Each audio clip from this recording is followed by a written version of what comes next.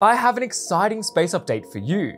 SpaceX's Starship is now fully stacked and ready to go ahead of its first ever orbital test flight. If you need reminding, this beast of a rocket is the most powerful rocket ever designed, capable of taking 150 metric tons into low Earth orbit. This is the rocket tasked with taking people and materials to the moon and eventually Mars. Later this decade, Starship will take NASA astronauts on the Artemis mission to land on the moon's surface. This thing could launch as early as next week, so subscribe to stay up to date.